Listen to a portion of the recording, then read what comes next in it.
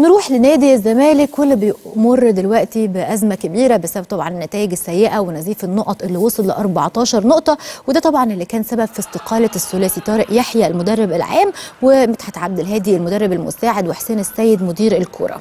المستشار مرتضى منصور رئيس نادي الزمالك قرر إن هو يعين نبيل محمود في الجهاز المعاون لنيبوشا والزملكاوية على ال social media كانوا متضايقين جدا من أحوال الفريق واختلفت الآراء ما بينهم حوالين طبعا مين المسؤول عن تدهور النتائج ومين المسؤول عن تدهور الأداء.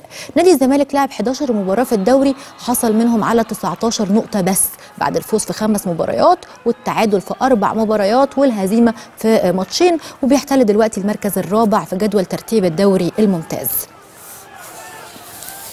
تعالوا نشوف مع بعض ردود أفعال جمهور ال social media على مستوى نادي الزمالك في الدوري واستقالة الجهاز المعاون لنيبوشا. وهنبتدي مع أحمد وائل اللي علق وقال اللي معاه يمشوا علشان يتحمل المسؤولية كاملة لأي خسارة. ده على أساس أنه هو موجود ما كانش هو اللي بيتحملها. كمان آه علي قال يعني إحنا كنا مستنيينهم يمشوا نبوشة أو يمشوا نبوشة ويمسكوا طارق يحيى مدرب مؤقت لحد ما نجيب مدرب يقوم طارق يحيى يمشي ونبوشة هو اللي يقعد.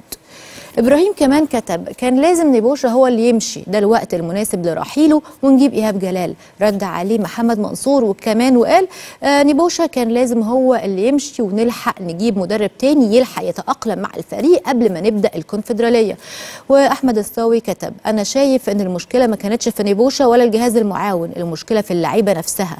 وأخيرا سلمى قالت بالرغم من أي شيء اللي استقالوا دول ولاد النادي ولازم نحترم قرارهم ونشكرهم على اللي عملوه في الفترة اللي فاتت.